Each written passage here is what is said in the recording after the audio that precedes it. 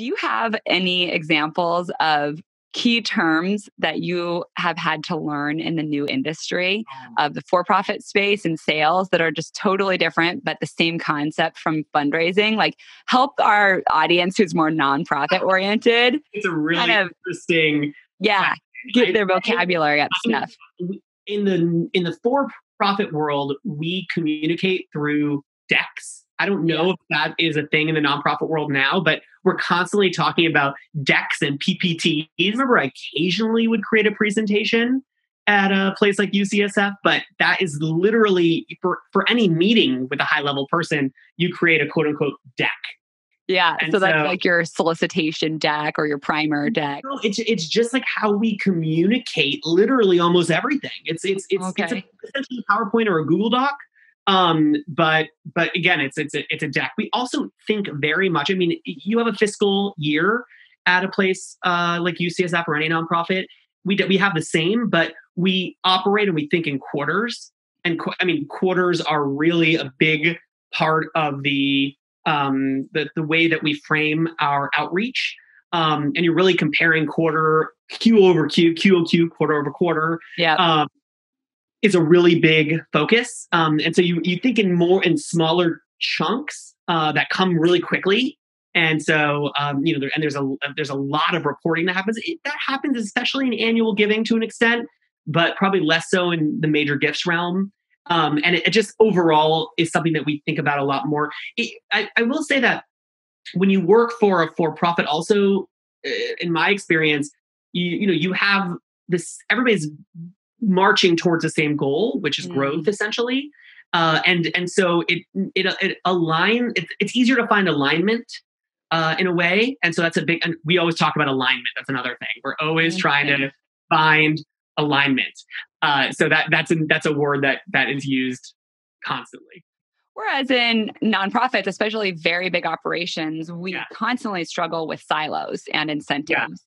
Yeah. And yeah, so getting motivated to pursue different individuals or fundraise fundraise with funders that we don't want to have overlap. Or if we do overlap them, it's figuring out how do we share credit. So I feel like that's something that's been a topic of conversation for many years in terms of incentives and you know what are the metrics for me- for success Yeah. that a nonprofit KPIs, fundraiser is looking at. Do you call do you call them in nonprofits KPIs? Because that's we're constantly talking about key performance indicators. Oh yeah, I've been using KPIs for a while now, but I think it may just be me because now I've gotten so integrated into you know working with boards that that's what boards mm-hmm. use. So that's the sort of thing that is interesting with nonprofits. It depends on sort of where you are in the nonprofit. If you're working with a board, then you're probably using more business terms. If you're working with, you know, the annual giving or mailing, you're probably not. You're probably just being served, you know, what your leadership is telling you.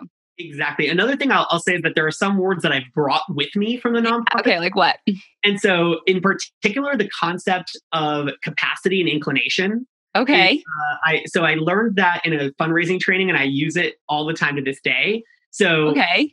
it's the concept that you know you really need both in order to make a sale or have a you know successful business um, development opportunity. So capacity is about you know just, does somebody have the ability to hire you or the ability to give, Uh-huh. um, and inclination you know is do they want to or do they have a need that you can support. I actually talk a lot about the golden triangle when we're prospecting. And the golden triangle is um, affinity. So, do they have that inclination, like you're talking Yeah. about? And then ability would be that capacity. Can they make a significant gift? And then finally, it's access because that's the biggest challenge. You know, a lot of nonprofits are um, doing work that would speak to a Bill Gates or Oprah, but there's no way that all of them have access. Something I, I want to point out that's also a, a really big difference Yeah. That I have found fascinating is when I worked in fundraising, there were so many opportunities to get to know my peers at different institutions, Uh And huh. amazing community of people. I really missed that. Uh, Oh, really? for profit realm, especially organizations that are like yours, the the it, the culture is not to get to know each other. So I actually don't know very many marketers, to be honest, outside of my company. So I work with some So if you're a marketer, then reach out to Andrew. You need more friends. Kidding. You probably have 10,000 friends on LinkedIn. Interesting because you know when you work at a Harvard um, you know, like you you're friends with the person with your job at Yale and Yep. at Stanford, and you have meetings regularly, and Yeah. you're like dialing them.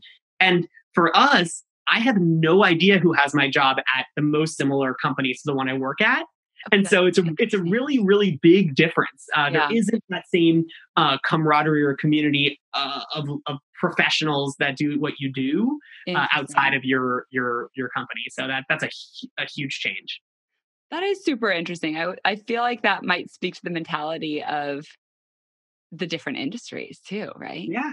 Yeah, potentially. Well, I think I think at the end of the day, I think those are you know that's our competition. Yeah. Um, these other companies, and so you know you don't want to tell each other secrets, especially in the university realm. yeah. You know, you close universes of prospects, yeah. and so you share a lot more because you're not you don't have as much to lose by Yeah. giving your special sauce away or, or sharing your secrets. Um, so I think that that might be a, a difference, but it is something that is you know it's it's a marked change. Yeah. That's interesting. With this latest valuable episode, we'd love to thank you for joining us on the Creating Community for Good podcast. If you found today's show valuable, simply visit our website, creatingcommunityforgood.com, to leave a review as well as to get access to additional resources and relevant links from this show. Stay tuned for more episodes.